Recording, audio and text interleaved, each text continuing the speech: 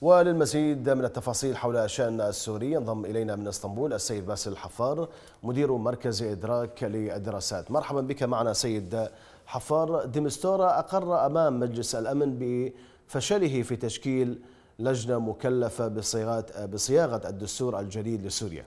كيف تعلقون على هذا الإقرار من قبل ديمستورا؟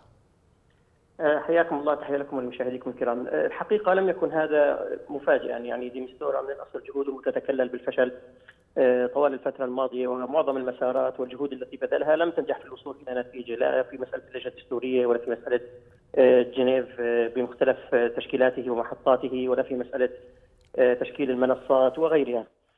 وبالتالي كان متوقعا حقيقة أن لا ينجح آه، ديمستورا في تشكيل لجنه دستوريه أو حتى وإن نجح في تشكيل اللجنة ولو مستقبلا لن تكون ذات قوة فاعلة أو ذات حضور فاعل ولن تقدم آه، شيئا ملموسا في المشهد السوري ككل.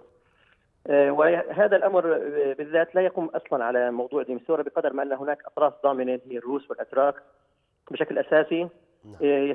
سيسعون أظن بشكل موازي الآن إلى تشكيل هم إلى تشكيل هذه اللجان وتقديمها للمجتمع الدولي على اعتبار أنهم أو سيقدمون أنفسهم على أنهم أصحاب قدرة حقيقية على تشكيل هذه المنصات. من برأيك يتحمل مسؤولية هذا الفشل لتشكيل لجنة دستورية في سوريا؟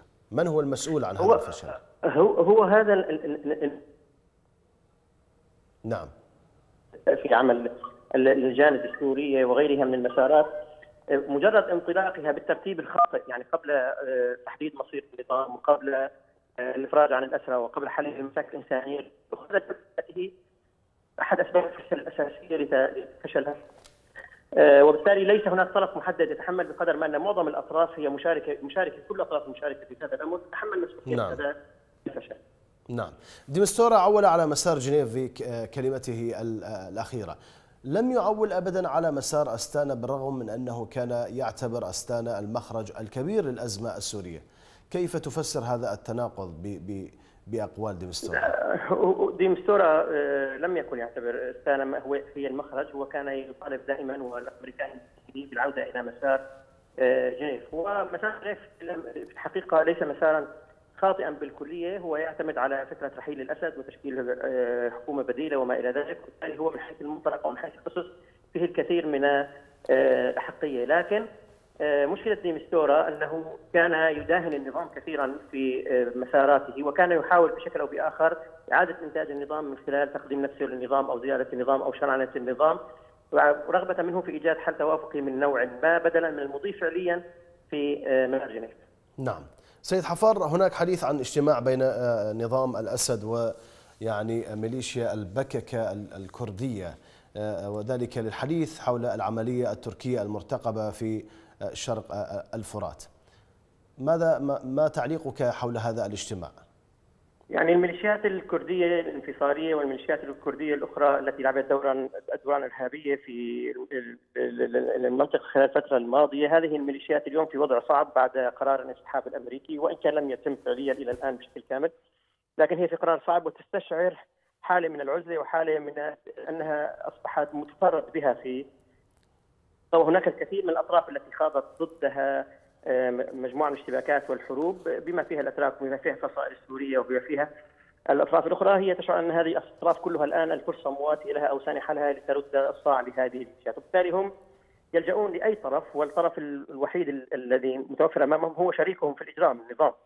فهم يلجؤون للنظام اليوم في سبيل ان يحققوا نوع من الردع أو نوع من الالتجاء له في مقابل أن يحميهم من بطش الأطراف الأخرى بهم. نعم. كيف ترى ونحن على أعتاب سنة 2019 العام الجديد حول موضوع محادثات السلام ومحادثات جنيف وإلى آخره ومسار أستانا. بعد خروج ديمستورا كيف ترى الوضع محادثات ما بين النظام وما بين الفصائل المعارضة الأخرى؟ هل سوف تستمر هذه الاجتماعات بين الفينة والأخرى أم أن هناك يعني قول آخر؟ هي الاجتماعات ربما ستستمر لكنها ستفقد الكثير من بريقها وهي في الأصل فقدت الجزء الأكبر من بريقها ومن قناعة الأطراف الفاعلة آه، فيها والنظام الفلسفة التي بدأ بها هذه الاجتماعات في منذ ثلاث أعوام وحتى اليوم هي نفسها الفلسفة التي انتهى إليها الأمر أن النظام يريد عودة السيطرة على كل المناطق ويريد إعادة الأمور إلى ما قبل 2011 وهذا أمر غير ممكن حتى وإن وافقت عليه الأطراف، يعني هو لا يمكن اليوم أن تقنع الشعب السوري بالعودة إلى ما قبل 2011 الديموغرافيا تغيرت، الإنسان السوري بحد ذاته تغير، النظرة السورية، السياسة السورية، الوضع السوري، الحدود السورية تغيرت، وبالتالي العودة إلى ما قبل 2011 غير وارد والبقاء الوضع على ما هو عليه بالحالة الحالية أيضا غير وارد، لذلك يتوقع أن يكون هناك تطورات لكن بطيئة جدا لأن هناك لأن فرصة إيجاد توافق دولي على حل شامل في سوريا أيضا ضعيفة جدا. نعم سيد باسل الحفار مدير مركز إدراك كان معنا من إسطنبول شكرا جزيلا لك.